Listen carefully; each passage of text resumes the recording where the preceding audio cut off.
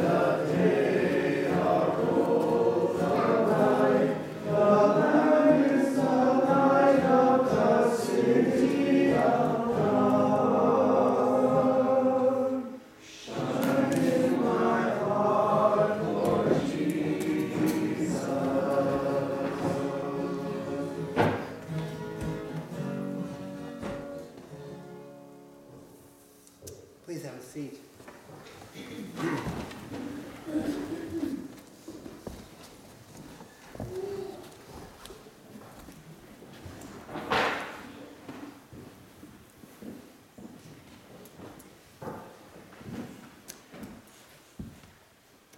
Reverend Dr. Wayne Fitzgerald Funk, who was the professor of homiletics at the esteemed institution that put up with me for four years as a student, had this way he opened up the preaching classes.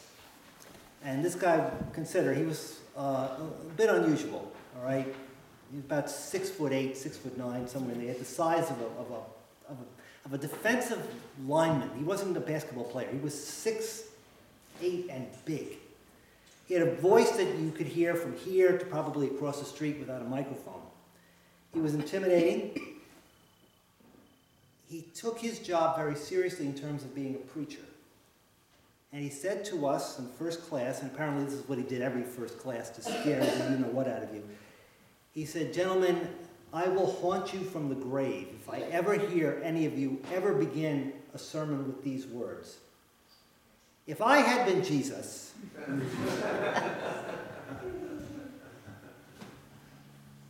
Wayne, if I had been Jesus, the scriptures would end very differently.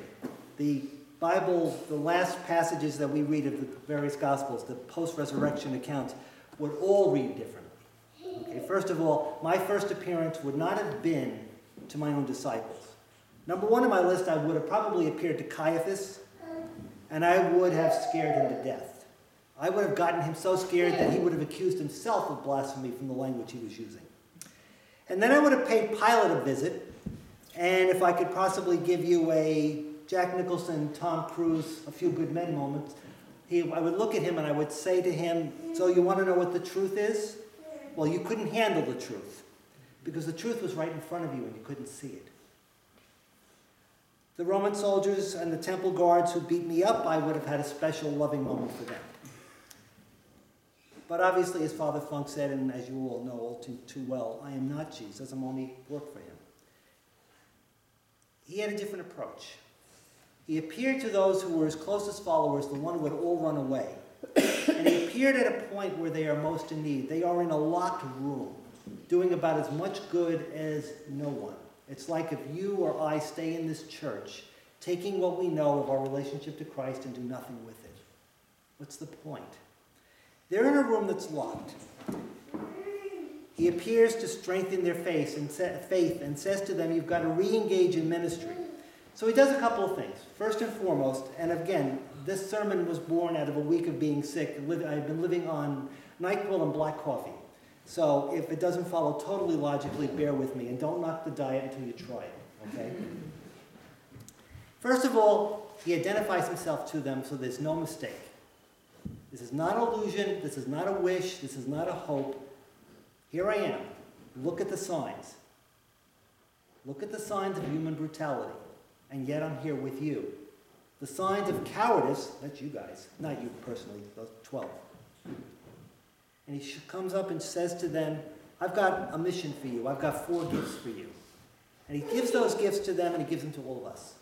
And I share those four gifts, ask you to reflect upon them. The first thing he says to them consistently, any gospel tradition, the first words out of his mouth whenever he appears to somebody, he says, Peace be with you. The first gift of the risen Christ is peace.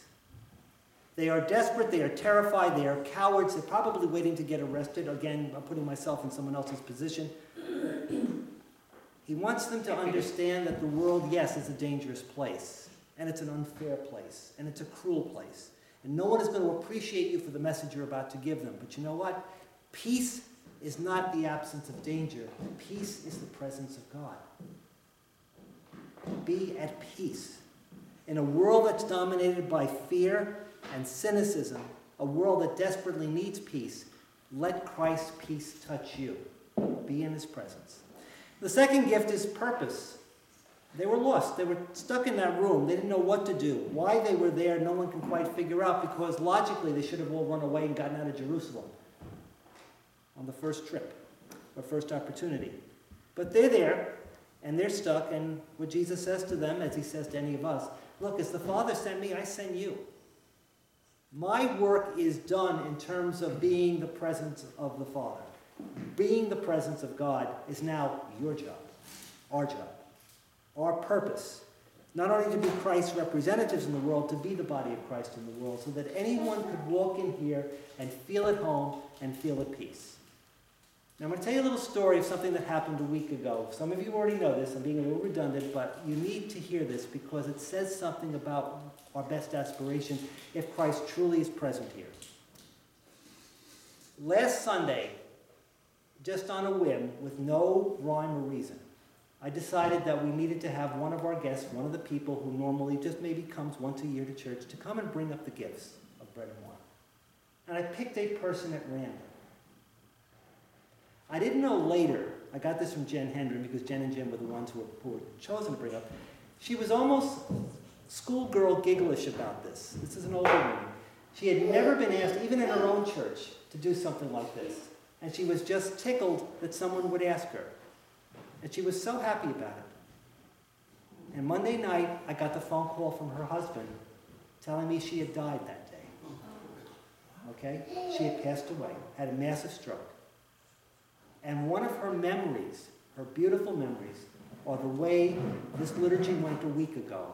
How nice the people were, and how she felt the presence of God. It has nothing to do with me. And in a way, yes, you were here, but it has nothing to do with you either. It is, it is what God working in us can do. We are to be the presence of Christ in the world. And that's about as real as I can make it. I'm not making that up. There are people who already know the story. Ironically enough, she was buried from here yesterday, even though she's not a parishioner, technically. But I think she found God here. And I hope that was through some of you being kind to her as well. There is a power that comes from being part of the presence of God. It is God's Holy Spirit working within us. We don't do it on our own. God's Spirit makes us who we are. And the minute you were baptized, and you were all here last week, you all renewed your baptismal vows, and if you weren't here, you were in some other church, and you did the same thing. You renewed the vows of your baptism. That moment when God's power literally became part of your DNA. So let it shine from you so that you can, as we sang, follow Jesus. And finally, there is the gift of penance. And for those maybe you caught, I did peace, purpose, power, and penance. And that's really hard to do on NyQuil and black coffee, to come up with those four words to make them rhyme. Or alliterate, anyway. With Christ comes the forgiveness of sins. No matter who we are, no matter what we have done, if we seek his forgiveness and acknowledge our need of him, that forgiveness will be given. And we take the example of somebody who was not in the room. We are told only in John's Gospel that when Jesus came and he gave them these gifts and they were overjoyed, there was someone who was not there. We have no idea why he wasn't there. But Thomas was missing. Now, maybe they sent him out to Starbucks, okay? Or maybe he was the one smart enough to try to get out of Dodge. We, we don't know. The point is, he comes back, and like most humans, when he hears something that's too good to be true, he doesn't accept it. As most of us with any kind of wisdom usually would. And Jesus then appears to him in his need, in his skepticism. And I get Thomas. He's a cynic. And I totally understand him. And yet Jesus says to him, Look, you wanted to see? Here are the signs. I am who I am. Now you can wallow in your doubt. You can remain afraid. You can do nothing. Or you can join the community and let the world know the importance of what I'm offering this world. And that's the same words he says to us. So we come Easter, this beautiful community here on Low Sunday or No Sunday, whichever you want to call it.